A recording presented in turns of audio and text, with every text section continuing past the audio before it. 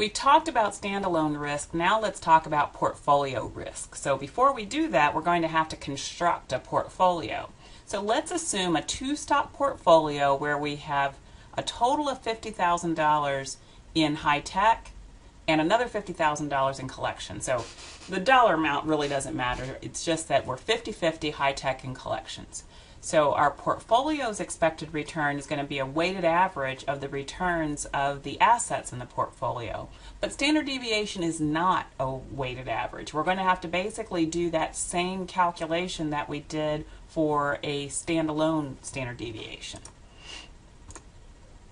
So here's the formula for portfolio expected return.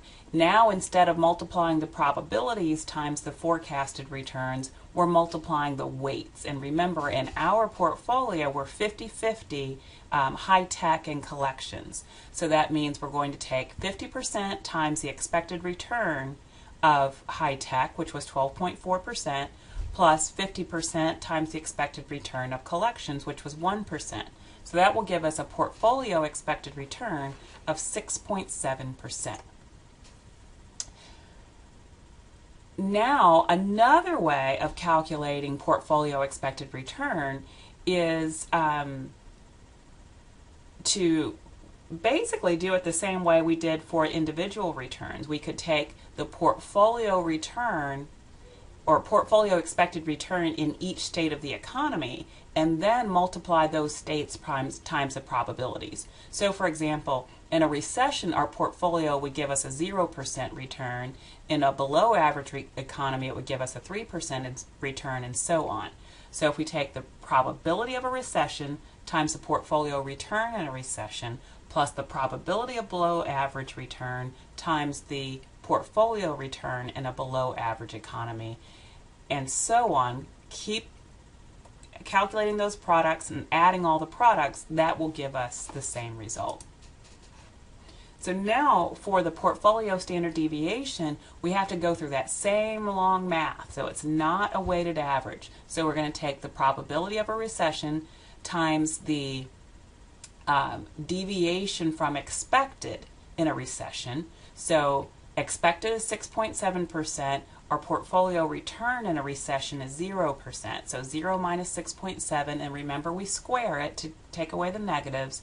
And then we do the same thing for the other four states, add those up and take the square root. So our portfolio standard deviation is 3.4%, and our coefficient of variation, um, standard deviation divided by expected return, is 0.51.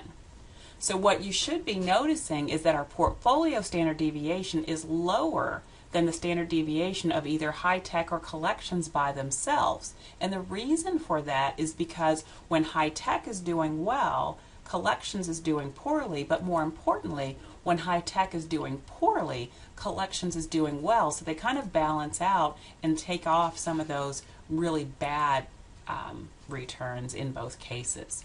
So um, our standard deviation of the portfolio is even lower than the weighted average of our two individual securities. So the portfolio provides the average return of component stocks, but lower than average risk because of this concept of correlation, that the stocks are moving um, in different ways from each other, and so they're offsetting the risk.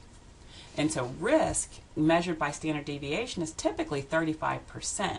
And most stocks kind of move together because they're moving with the market, although not perfectly. Um, but if you find a stock that moves opposite, that can lower your risk significantly like we have here with collections. So combining stocks in a portfolio generally lowers risk because they're not moving or reacting to the market in exactly the same way. So that's what's going on here.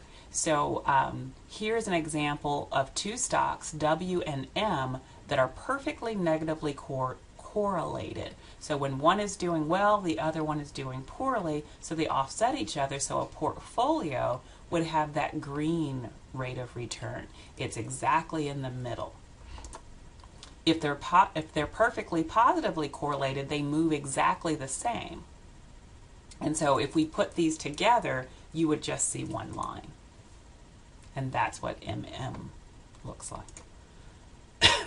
so now, if they're somewhere between um, perfectly positively correlated and no correlation at all, which would be a rho of zero, um, it would look something like this. So we've got W and Y, and so together WY is somewhere in the middle. So now if we create a portfolio with one stock and then randomly add other stock to the portfolio, the portfolio standard deviation is going to go down as stocks are added because they're not perfectly correlated with correlated with each other.